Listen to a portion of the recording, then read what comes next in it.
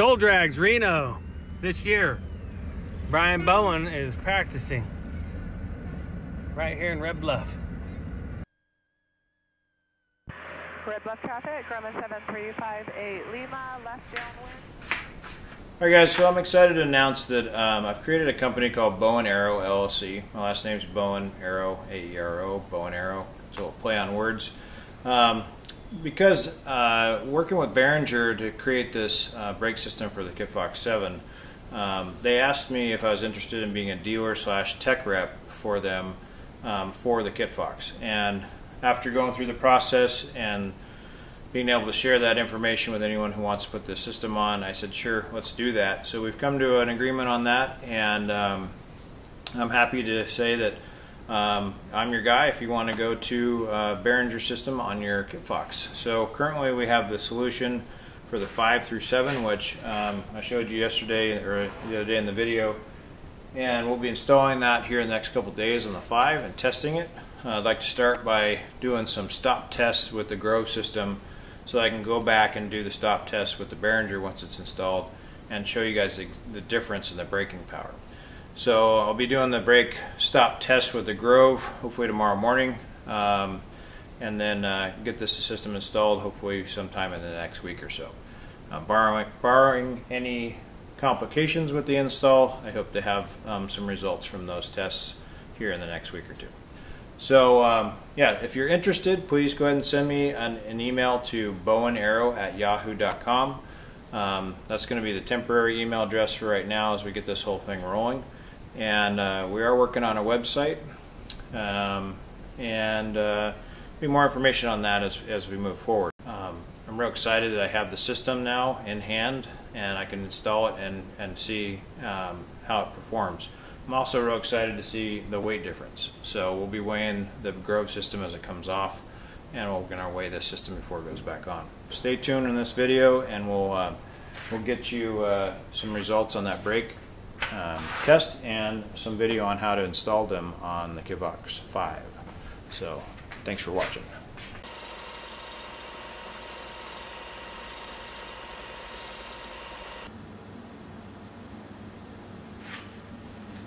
All right, so what I'm doing is this um, axle that I had from TK1 Racing had an extra inch and a half on it with the threading, and that was to make it fit for the Grove setup.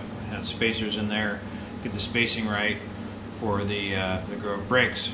With the Beringer, you don't need that. So what you would do if you're going to do the TK1 um, setup is just order the Highlander axle, which is basically this. I think it is still threaded, but it's shorter by an inch and a half, so this is four and a half inches of axle outside of the portion that's going to go inside the gear leg. So I just cut it down to four and a half, and then that slips right into this um, Beringer axle sleeve. It's a bigger diameter for the bearing on the back and smaller on the front. Um, that's the way the wheel works. They got a big bearing in the back, small bearing in the front.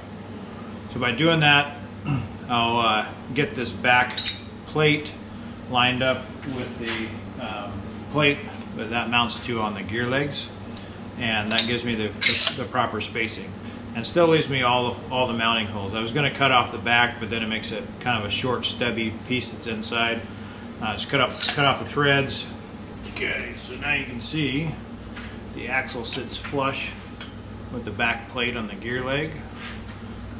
Pull that up. See the four and a half inch axle and then this is just a sleeve that slides over it. Holes line up. Really beefy setup. Um, especially with Tony's gear legs. You'll notice quite a bit of difference in these gear legs over some of the others that are manufactured. And then it has this piece here. You get a lot of torsion right here at the bottom of the gear leg. And this is where they typically break. And instead of just having the axle bolted out, like most axles just bolt to this plate and that's your brake point right there. This axle comes all the way into the sleeve, all the way back to this point. So you have a very strong attachment um, down at the bottom of the gear leg. So if you're gonna have a failure, it's gonna be bending these tubes or up at the fuselage, not with the wheel falling off.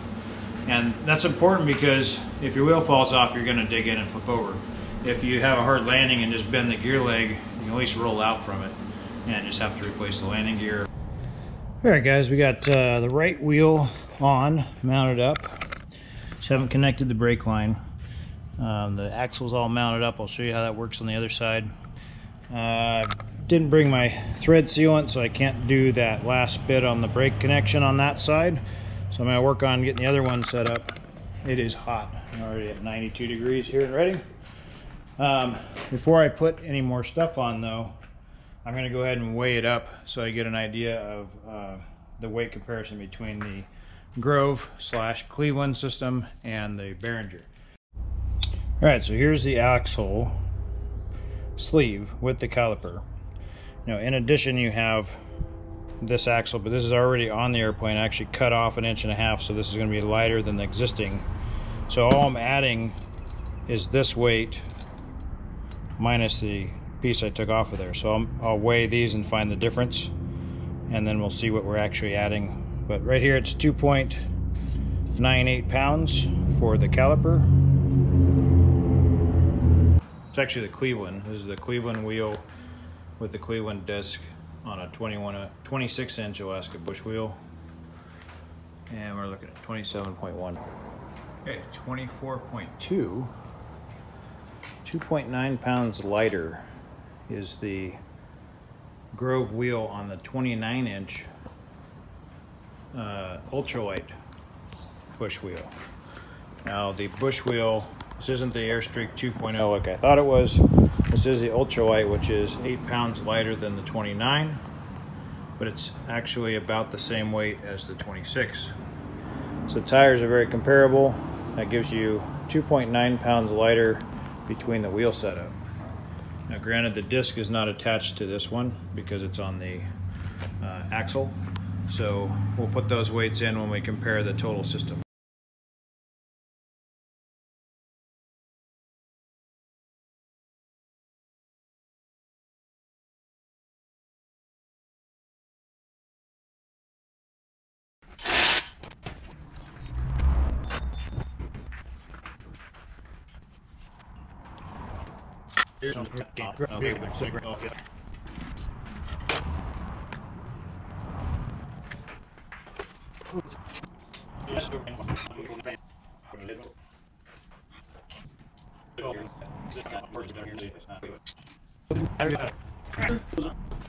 All right, we are Beringer installed.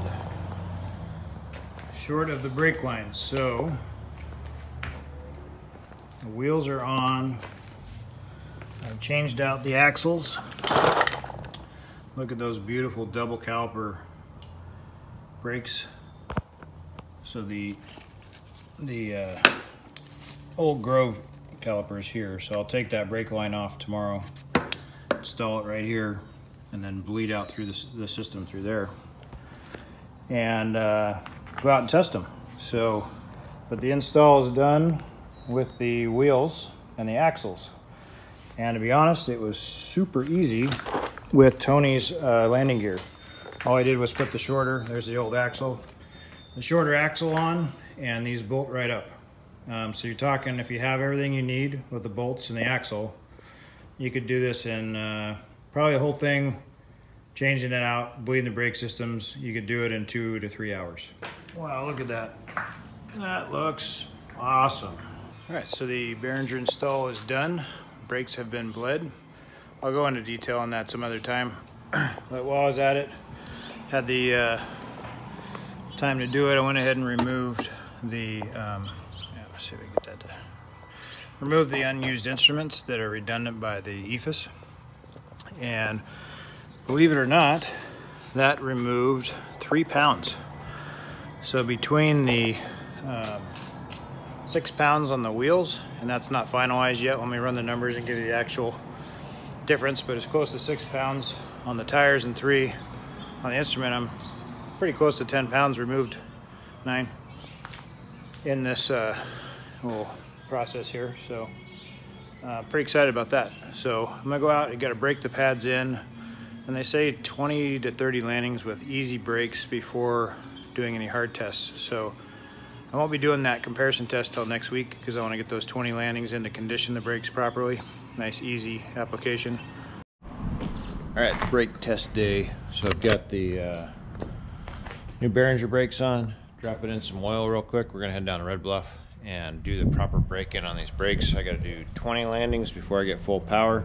We've already done the 1500 foot drag uh, on the brakes. You taxi for 1500 feet with light brake pressure and then two brakes from 30 knots lightly. So those are done. Um, hoping to see better braking power once they're broke in, but they say you only have 50% to start with. So if, uh, if, if, that's where it's at, that'd be good. So let's go fly and we'll see how uh, it turns out at the end of the day, whether we need to actually change out the master cylinders from their Groves or not.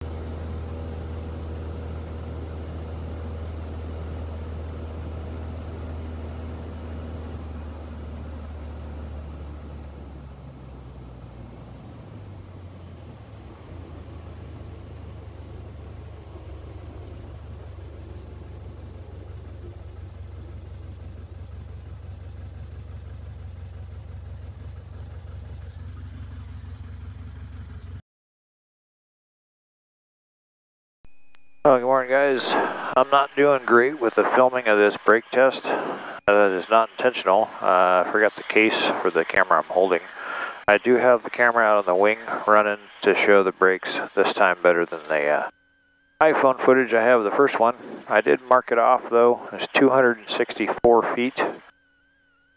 65, somewhere in there, um, for the first brake test with the all Grove system. So I'll be doing the same thing here with just the Beringer wheels and brakes with the Grove Masters.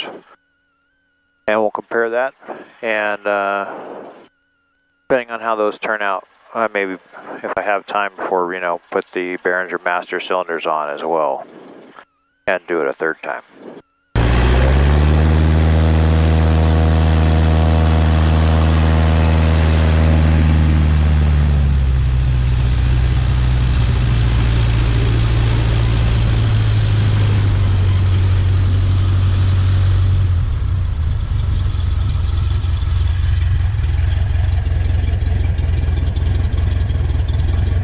Okay, so look out there.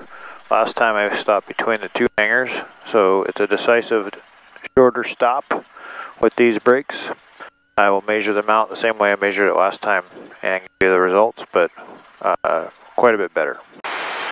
So I'm real excited about those uh, brake results on the stop test. I mean, that's a true test of the brakes is whether or not they stop. So what would happen with the Groves is it would start braking really hard, but then it would fade. And as you were getting to the point where you come to a stop, you really had to really press hard on the pedals to get it to actually stop. Now these come on a little easier, but they're stronger through the whole stop.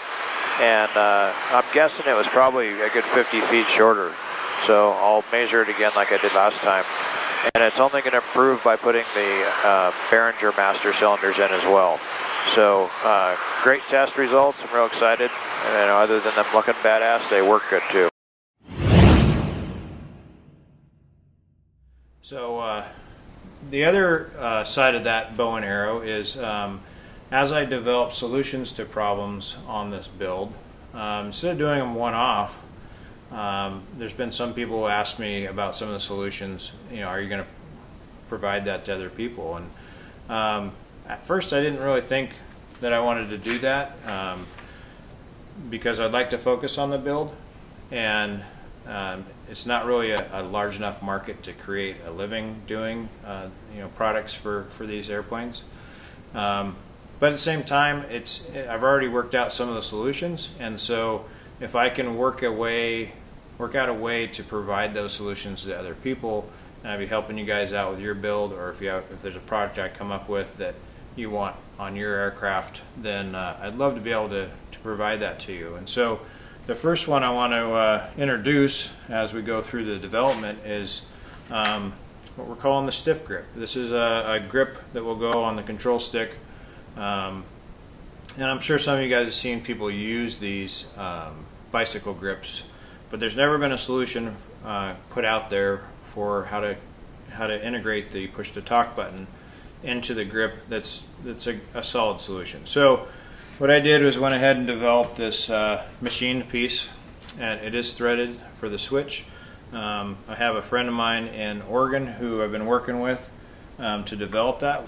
I'll have quite a few options uh, to start with with the grips. And if you guys have a particular grip you like, uh, I can also get that uh, that style as well. They have the normal size ones, they have the shorties. This is a, a leather stitched. Uh, also the foam one, which I'll show a picture of that's installed on my 5. Um, they have these palm grips, which I really like. I'll be putting these on the 7. Um, they just feel good, that support up in your palm. Um, so those are available in rubber. Um, so you pretty much you have foam, you have rubber, you have leather, fake leather, um, all different kinds of options for the grip. The um, push to talk switch dome will fit in, in pretty much all of them. So um, the reason I did this was I was really not happy with the options that are out there commercially. Uh, I've been running this Arrow K um, grip, which you know it's ergonomically designed for your hand. It's okay. I've had this on the Kitfox 5 for for years, but I didn't like the way it attached. It's always the screw's always loosening up, and then it, it has some play in it. And the switches that are installed, they're glued in, and the the guy I bought the plane from had already done that. So one switch sits high, the other one sits really low. It just wasn't done nice. So I originally pulled these off, and I bought. Uh, what I thought would be the better solution from Aircraft Spruce, and I don't know the brand of these. I could look it up, but I don't want to bash it either. But you know, it's this foam grip. It's it's really flimsy. It's got a plastic rubber head, that, and it flexes like quite a bit. And so I just I just really wasn't happy with that limp grip. So that's why we've gone to a nice stiff grip. And um, this is I'm pretty happy with this solution. I've been running it now for about a month on the five, and I love the way it feels. It's a really um, comfortable grip. So um, I'll be making or putting together a website. We're kind of in the process of doing that, and we'll provide information about the Beringers uh, brakes and the grips. And as I work um, on other solutions that could potentially be uh, products, um, I will go ahead and, and uh, try to share those if we can manufacture them uh, without too much cost. And I can provide it at a reasonable price. Uh, I'd like to do that. You know, along with that, there is the cost of the overhead. I mean, there's the business costs, the accounting, the you know, all that stuff that goes along with the business. If you guys are, you know, business savvy, you know that it's not as simple as just saying, "Hey, I made this, let's sell it." You got to have, uh, you know, the structure in place, and so that has to be passed on with the cost of these things. So um, I, I hope to be um, very comparable with these other two options uh, in price because I think it's a better product. So um, you can expect them to be, you know, about the same cost I think as the other other options out there, and I think it will uh, it will be successful because it's it's a better grip. Um, so I'm pretty excited to to uh, announce that. Um, hit me with some some comments and some emails at that bow and arrow at yahoo.com. Again, that's a temporary email. Once we get the website set up, we'll host our own emails. But um, in the meantime, I have had a lot of interest about these when they, you know, people have picked them out in the videos and uh, have made comments. So um, just wanted to let you know what I'm working on. That's in the final stages, and we we can really uh, probably start um, shipping those out here in the next month or so. So uh, we're still working on the anodization process. Um, so you definitely can offer them in the bare aluminum, um, but we're working on doing a black and a red anodization for the first run. So, uh, yeah, let me know what you guys think about that. Um, it's obviously something, you know, if you had the time and equipment, you could co come up with your own solution. But um, I've already done all that work, and if you're willing to, uh, you know, pay the cost of what it cost me to, to produce them, you know, plus the overhead, then then I can get you a set of them. So, along with that, Beringer's super excited about that. Uh, these brakes are the most beautiful uh, brake system on the market by far. So let's uh, go ahead and confirm that they're also the best performing by doing these tests. So stay tuned in this video and we'll, uh, we'll get you uh, some results on that brake um, test and some video on how to install them on the Kitfox 5. So thanks for watching.